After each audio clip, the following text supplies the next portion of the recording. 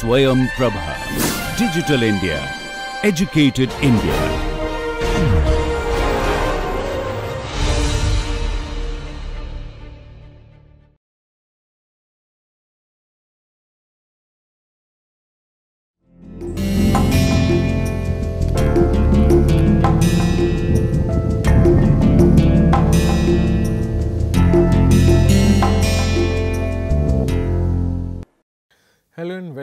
Uh, to the course Introduction to the Psychology of Bilingualism and Multilingualism. I am Dr. Ark from the Department of Cognitive Sciences, IIT Kanpur, and we are talking about language acquisition in bilinguals and multilinguals. In the previous lecture, we saw that infants relied on the statistical regularities of the speech input to solve the segmentation problem. Just to recap, the segmentation problem is basically about how do infants uh, segment the continuous stream of speech into words in order to basically understand what uh, understand and isolate separate words and uh, attach those words to meanings eventually. But is uh, the statistical regularity the only cue to solving the segmentation problem? We have considered the statistical uh, you know regularities and patterns in, in much more detail in the previous lecture, but is it the only solution? Uh, in today's lecture, we are trying to uh, consider an alternative uh, option as well, which is prosodic bootstrapping. What is prosodic bootstrapping? Uh, this is an alternative suggested by some researchers that in addition to the statistical learning device as shown by Saffran and colleagues, infants also rely on the prosodic characteristics of speech for example, the rhythm of speech in order to distinguish in order to segment the continuous uh, stream of speech into words. Now, note that three that you know you can typically uh, uh, distinguish between different languages, uh, distinguish different languages into basically three kinds of categories based on rhythm. For example, there are stress based languages like German, English and Dutch, there are syllable based languages like French, Spanish and Italian and also there are mora based languages such as Japanese. Now, these three classes basically emerge based on the kind of rhythm uh, scheme that is used in these languages. Now, infants have, have been shown to uh, you know utilize and understand the rhythmic scheme of a given language and use that for segmenting the speech stream into words. Let us see some examples. Many studies have shown that say for example, adults can exploit the specific rhythmical pattern of their native language to segment the stream of speech using a segmentation procedure which is uh, basically attuned to or based on the metrical unit that is typical for this language. For example, Mehler and colleagues demonstrated that since syllables are very clear and unambiguously defined in French uh, and as French uses syllable timed uh, stress uh, syllable timed pattern, French adult speakers are actually very adept at uh, you know using syllables uh, as a tool to mark the word boundaries in a continuous stream of speech. In contrast, native adult speakers of Dutch and English actually uh, are found to utilize stress patterns to segment their speech stream into words. For example, uh, most of the words in English uh, you know carry the stress on the first syllable for example, baby, bottle uh, and so many other words uh, which carry the stress on the first syllable. These words are referred to as having trochaic stress pattern. Similarly, uh, only a few words have the, what is called the iambic stress pattern basically having uh, stress on the second syllable which are words like guitar, debate and so on. So, the idea is that infants and adults can actually use if they find uh, words having uh, uh, you know stress patterns on the first syllable as a cue to determining word boundaries. Again this is something that probably does not always work, but can be a very good clue in addition to the statistical regularities of speech for infants or and adults to basically utilize and segment the continuous stream of speech into words. Now, given that rhythm can actually be useful in segmenting the speech stream into specific languages, how would this play out in, in, the case of bilinguals? How would bilinguals segment the speech stream with the help of prosodic characteristics? For instance, one may ask that whether bilinguals behave like two monolinguals. Basically, let us say if I if my first language is English and my second language is French, do I use uh, stress based uh, pattern to distinguish uh, to segment English and syllable based pattern to segment French, or do I use a combination or a, you know amalgamation of both these strategies which I apply to both English and French whenever I am listening or trying to segment them. So, this is something that uh, you know a lot of researchers have asked and a bunch of experiments have been carried out. I have picked up one similar experiment to sort of talk about this in a bit more detail. So, Cutler and colleagues actually took a group of highly proficient French English bilinguals and tested them in both English and French languages to basically check for what kind of uh, segmentation strategy they are utilizing to segment materials from English and French. The result collapse across, across all participants presented a rather ambiguous pattern where uh, you know in neither condition the bilinguals replicated the behavior of the corresponding monolingual group. So, for example, these were French English bilinguals their pattern of results neither represented French monolinguals nor they uh, resembled the English monolinguals. So, initially the uh, pattern of results were rather mixed and the uh, authors were obviously uh, you know at a loss as to how to explain these uh, results. So, what they do is that they sort of try to zoom in and they subdivided the participants into two groups based on the preference of language and then analyze the data on these two groups separately what did they uh, uh, basically uh, uh, you know how would they divide uh, the participants into language groups by preference? They actually posed the question that okay in case of and uh, you know a scenario where you are given uh, a choice as to which of the two languages that you know you want to retain uh, and uh, you know so the, and the individuals were basically supposed to answer either in english or french. So they actually gave one answer uh, depending upon you know which language they preferred speaking in or which language was prob probably their native language. In the sense uh, and once they sort of gave these answers, uh, Cutler and colleagues could divide the participants into two groups, uh, the French dominant group and the English dominant group. Once the data was analyzed separately for these two groups, an interesting pattern of results emerged. Now, uh, the results were depending upon which language is dominant or preferred biling bilinguals may either uh, you know behave like two monolinguals within one person or apply the same segmentation strategy to both their languages. To be more specific, French dominant participants performed similar to French monolinguals when they were segmenting French materials uh, using a syllable based segmentation scheme and they performed like English monolinguals when they were segmenting English materials using a stress based segmentation scheme. Interestingly, the pattern was slightly different in English dominant participants who used the stress based segmentation scheme to uh, uh, segment materials both in English and in French. This sort of is confusing because if the English dominant participants also followed a similar strategy using uh, stress based for English and uh, syllable based for French, you would say that okay bilinguals actually uh, you know perform segmentation based on the kind of language that they are segmenting. But this sort of is still a mixed result and the authors were trying to you know account for this by proposing that syllabic segmentation is something of uh, you know is something similar to a uh, you know a special or a marked routine that language users would only develop if necessitated by their native language or their preferred language. So, basically what they were trying to say is that syllable based segmentation scheme is not the default one, it only develops in individuals when for example, their native language necessitates, necessitates it. So, they propose that such a routine would be developed and used only if the individual is dominant or native to you know syllable based segmentation language like French and they would in addition if they are acquiring a second language in addition they would be able to use another uh, strategy for example the French uh, bilinguals did another uh, strategy stress based segmentation for segmenting materials from a different language which was English. So, here what we can see is that the segmentation strategy that individuals are uh, using to segment their language does sort of rely a little bit on the rhythm uh, or on the rhythmic scheme of the given language, but it is not sort of uniform across the different types of bilinguals. It basically depends on various factors such as the preferred or the dominant language that is used by a given group of bilinguals. Now, this was mainly adult studies. Let us move on and look at infant studies. How does this how does this play out in infants? Uh, a number of infant studies have actually looked at and they have tried to investigate the age at which the sensitivity to specific rhythmic schemes actually develops for these specific languages. For instance, some research has suggested for uh, some research has suggested that sensitivity to the language rhythm is actually innate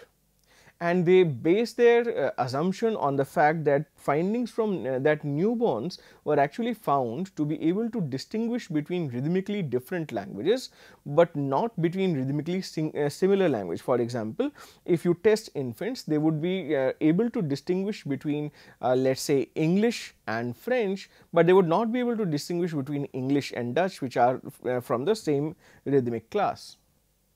Interestingly, some researchers have also shown that this ability to distinguish between rhythmic classes is not specific to humans only and is also found with in other mammals and other species such as the tamarin monkeys and rats it could give us a clue that this ability of uh, perceiving rhythm in a language is something which is again uh, deriving from the general property of the auditory system and therefore is something that is shared with other species as well. So, it is not something that is language specific or developed specifically to deal with language, but it is probably a more generic property of the auditory system that is sort of in some sense utilized or comes handy when we are talking about languages and when we are talking about uh, segmenting languages based on rhythm. Now, moving forward from birth, uh, infants knowledge of their native language increases and it sort of starts influencing their ability to discriminate between their native language and other languages as well. Let us look at it. Mehler and colleagues found that 2 month old English speaking infants could actually discriminate between English and Italian. Remember English is stress English uses stress based segmentation whereas Italian uses syllable based uh, segmentation. But they could not distinguish between French and Russian which belong to the similar uh, you know uh, rhythmic class. Similarly, Christophe and Morton demonstrated that two month old English speaking English babies basically were able to discriminate, uh, discriminate between English and Japanese. Again English and Japanese from two different rhythmic classes, but not between French and Japanese even though in both cases the languages belong to both rhythmic classes. So, in that sense this ability of being able to distinguish languages based on rhythmic classes is also not a foolproof ability. It is not because uh, both these language pairs belong to different rhythmic classes and if this ability were foolproof infants should have been able to distinguish between both English and Japanese as well as French and Japanese, but we see that that is not really the case. So, again uh, it is something that is a very useful uh, you know uh, uh, strategy, but it is not a foolproof strategy that allows infants to distinguish between different languages just based on the rhythmic differences. A more interesting pattern of results was uh, later presented by Christophe and colleagues when they tested this uh, two groups of uh, 2 month old infants. Uh, they divided them into two subgroups and found very interestingly that one, while one group failed to discriminate between native English and foreign Dutch, probably treating this, them in the same way because they belong to the same rhythmic class, but and another group succeeded in discriminating between foreign Dutch and foreign Japanese. So, what is happening here is that these infants are you know obviously considering English and Dutch as their native language together because they are very very similar to each other not only in the stress based uh, rhythm that they use but also in other prosodic characteristics. But uh, foreign Dutch and foreign uh, Japanese uh, basically are also distinguishable because they belong to different rhythmic classes. Now, an interesting study in this regard was conducted using a visual orientation procedure by Bosch and Sebastián-Gallés in 1997, where they uh, looked at uh, you know comparing the ability of monolingual and bilingual infants uh, for discriminating between a pair of rhythmically similar languages uh, one with one of them would be native and the other would be foreign. Remember these languages belong to the same rhythmic class, but one is a native language, the other is a foreign language. So, what did they do? They uh, across two experiments they tested for three languages Catalan, Spanish and Italian all of which are uh, basically belong to the same class uh, using uh, uh, you know syllable based segmentation. So, in the first experiment they found that 4 month old infants growing up in Spanish or Catalan homes uh, basically uh, and you and they presented them with Catalan or Spanish sentences and the results showed that infants coming from Catalan homes oriented faster to Catalan sentences uh, and slower to Spanish sentences and infants coming from Spanish home oriented faster to uh, Spanish sentences and slightly slower to Catalan sentences. This basically tells us that these infants are now able to distinguish between native language and a foreign language even though they are belonging to the same rhythmic class. So, you can see while at birth they were only being able to make broader distinction between uh, you know languages belonging to different rhythmic classes around 4 months of age they are being able to distinguish between a native language uh, and a foreign language despite the fact that they belong to two different rhythmic classes. Now, in the second experiment, these 4 month old infants from Catalan Spanish bilingual homes were presented with either Catalan sentences or Spanish sentences and on one hand and on the other hand they were contrasted with Italian sentences.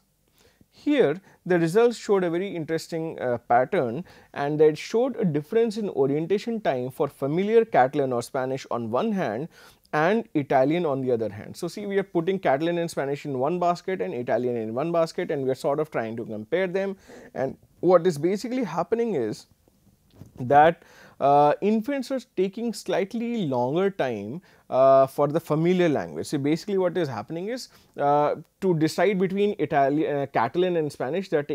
taking slightly longer time uh, and taking slightly lesser time uh, you know for orienting to Italian. Now, why would this happen? Uh, basically, what the researchers sort of uh, argue and they say is that what might be happening here is that when these infants are hearing the familiar language materials, either from Catalan or Spanish because they are bilingual infants and have been exposed to both these languages, they might spend some initial time first trying to determine which of their native languages is being spoken in. So, for example, they might spend the first few milliseconds or first few seconds to determine uh, whether uh, English is being spoken or Catalan is being spoken and then they are sort of uh, making uh, you know the time to orient to either of the two and as compared to Italian uh, if you are just comparing Ca Catalan to Italian or Spanish Italian the, uh, the discrimination would be a little bit faster. So,